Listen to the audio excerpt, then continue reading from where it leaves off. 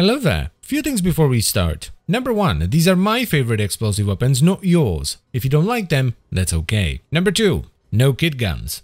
Number three, I'm running prime sure-footed on my Inaros to negate staggers. And number 4, I'm running 3 Vigilante mods on my pet's weapon, which gives me a 15% chance to enhance my primary crits by 1 tier. So if you randomly see an orange or a red crit on a weapon that shouldn't actually hit them, this is why.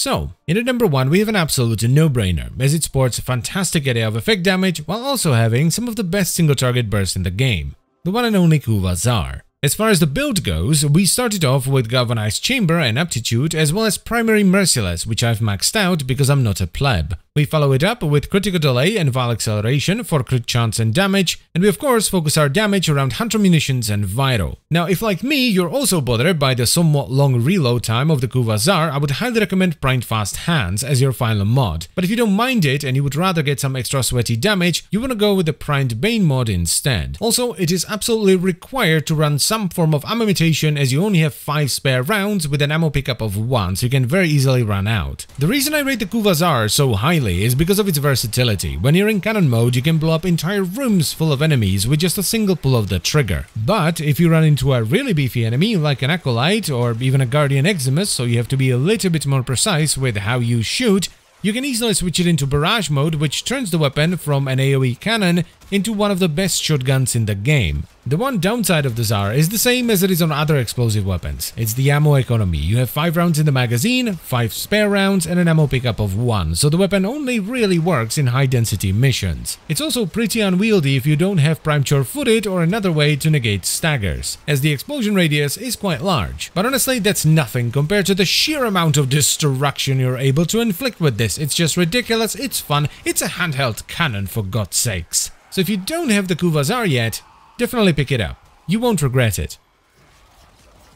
In at number 2, we have yet another Kuva weapon that's actually fairly similar to the Kuva Zarr, because it's basically the bow version of the Kuva Zarr, the Kuva Bramma. Now the build for the Kuva Bramma is very similar to the Kuva Zarr one, we just take out the reload speed and put in fire rate, so we run Galvanized Chamber and Aptitude as well as Primary Merciless, we have critical delay and vital sense for crit chance and damage, and hunter munitions and viral for some damage over time. The reason I like speed trigger here is because it balances out the negative fire rate from critical delay and actually gives me extra fire rate so I can draw the bow back much faster. But just like with the reload speed on Kuva Zarr, if you don't mind the slow drawback of the bow without speed trigger, you can easily run a primed Bane mod in there for some extra 30 damage, or or you can run primed Firestorm for a bigger boom. The Kuva Bramma is one of my favorite explosive weapons in the game. It just feels good, it's fun to use, and it does tremendous damage. Its main downside is once again the ammo. It's actually even worse than on the Kuva Zarr because instead of having 10 total rounds, you only have 5. So it's basically unusable in anything other than high density endless missions. But my god, when you get it going and you have a steady supply of ammo, it is a thing of beauty. There's a reason why this weapon is so scuffed. It was so popular they kept nerfing it over and over and over again, but even with those nerfs, it is still one of the best explosive weapons in the game. So do yourself a favor and pick the Kuva Bramma up. Just bear in mind that it only really works in high density endless missions. If you take this into a capture or exterminate, you're not gonna have a good time.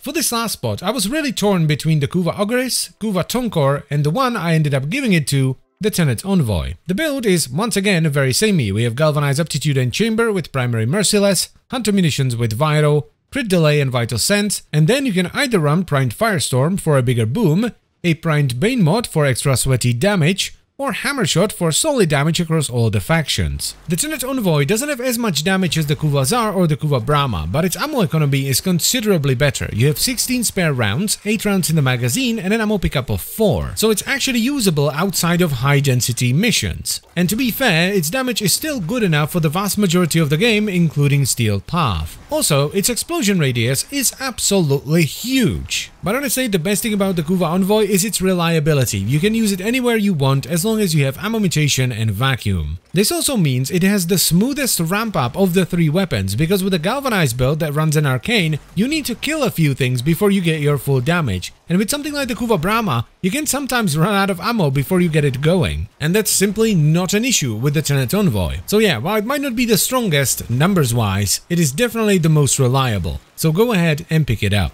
And that is pretty much it for the video, so I thank you very much for watching. As always guys, let me know what are your top 3 explosive primaries in the game in the comment section down below, and I will see you next time. Bye bye.